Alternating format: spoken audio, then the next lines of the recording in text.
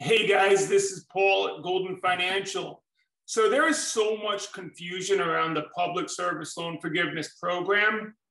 What I'm going to talk about today is pretty much everything you need to know. Um, first off, so people are asking, you know, what about this $70 billion worth in student loan forgiveness that the Biden administration supposedly passed or is thinking of passing? So yeah, this is how that, I'll tell you how that works.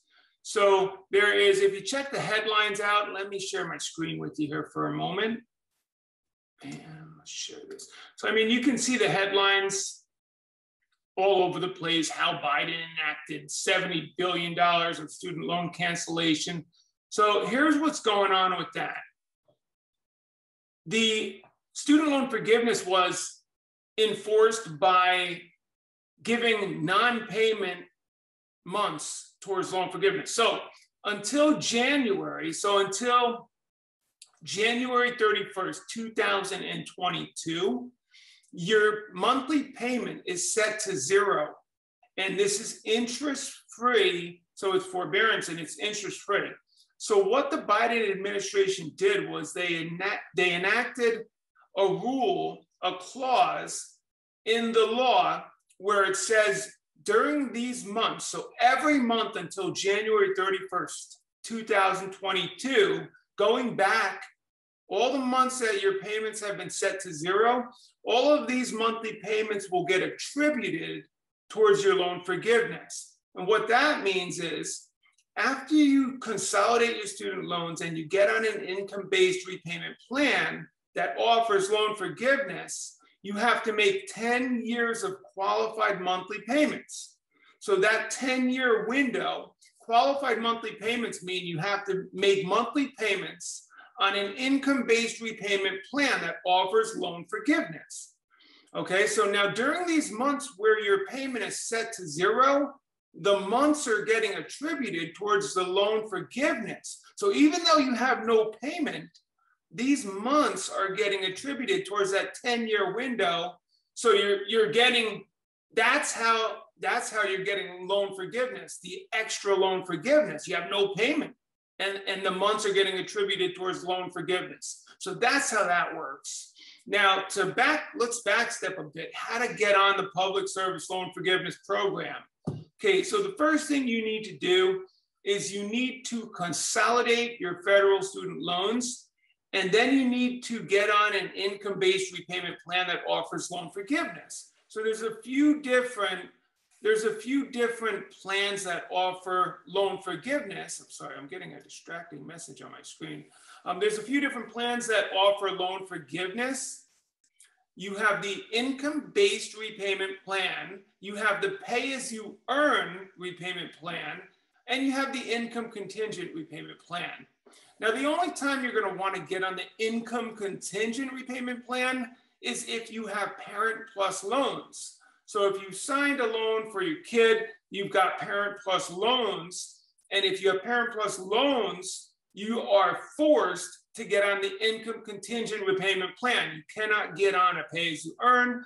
Um, the downside with the income contingent repayment plan is that the payment, the monthly payment is always going to be higher than the pay as you earn or the income based repayment. So it's a downside, but you have no choice. You have Parent Plus loans, even if you consolidate, which you have to do, consolidate those federal student loans, and then you get on the income contingent repayment plan. That's the process if you have Parent Plus loans. There's no other way. But here's the catch, which most people don't know.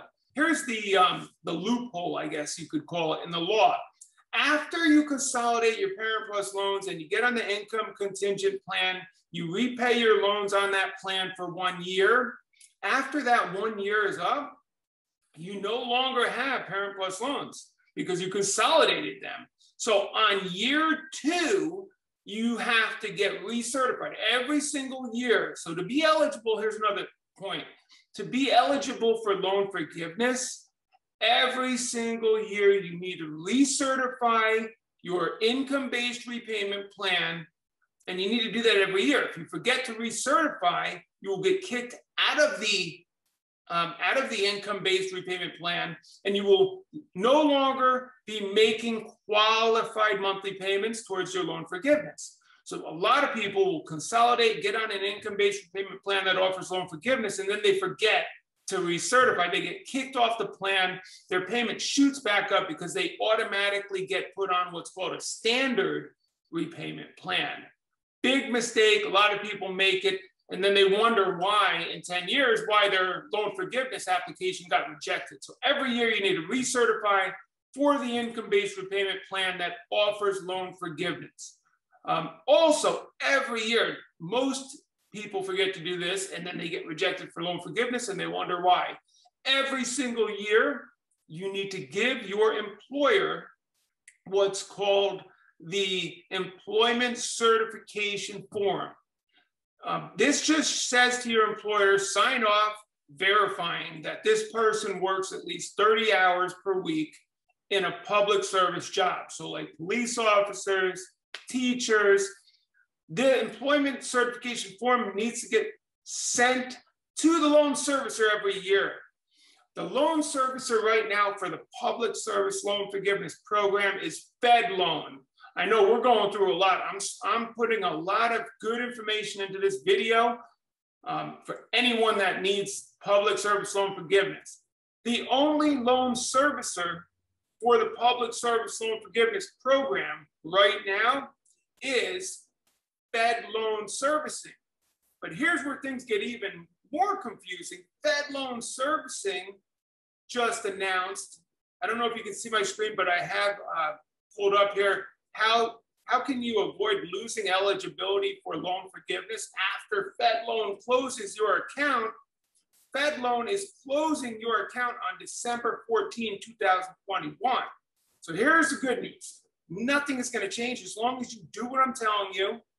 You, you consolidate, you get on an income-based repayment plan that offers loan forgiveness. You send in your employment certification form every year.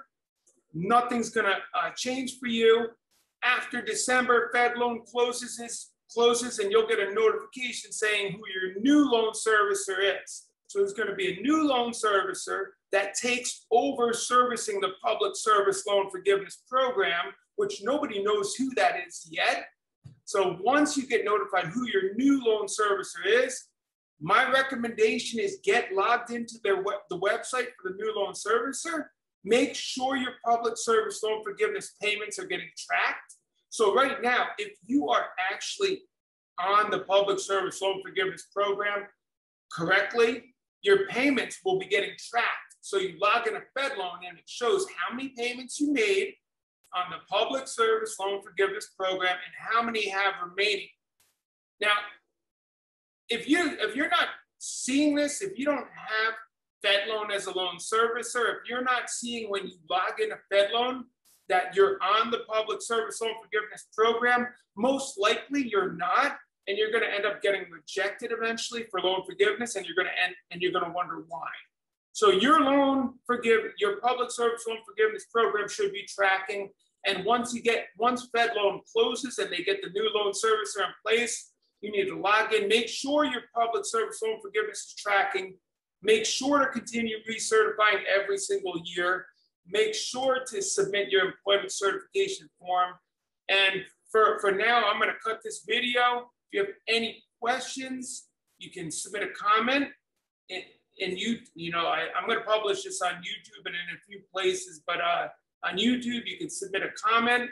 You can also see updates on our blog at www.golden, F s.org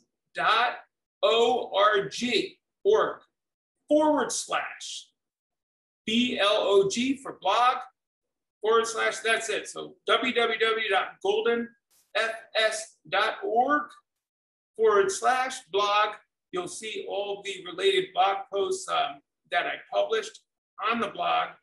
You can always call golden financial. And of course if you have credit card debt over 10000 worth there are outstanding programs available to help you resolve your credit card debt for less than what's owed. The debt resolution program is the least expensive way to get out of credit card debt, which includes credit repair as well. This is not just a debt settlement program. What this program uses is what's called debt validation. There's altogether, there's up to 14 federal laws that the validation program incorporates in a program. So long story short, most of the debt can get invalidated so that it doesn't have to get paid. And then legally, it can no longer remain on your credit report. And whatever debt is validated will end up getting negotiated where you end up paying less than the full balance and you get an affordable repayment plan. So this program is a much more effective option than if you were to try to use debt settlement to get out of credit card debt because with debt settlement, you're almost guaranteed to end up with late marks and collection accounts on your credit. So it's just a more costly and it, it, it's a harder program to recover from than if you were to use the debt resolution program that I'm referring to. So if you have over $10,000 in debt, I just want to mention you can go to Golden Financial Services and, and speak to a counselor and learn your options at 866 376 9846. And for now, I'm going to end this video. I hope you guys enjoyed it. Let me know if you have any questions. Let me know if you have any special requests. And uh, it's been fun. All right, guys. Have a great day.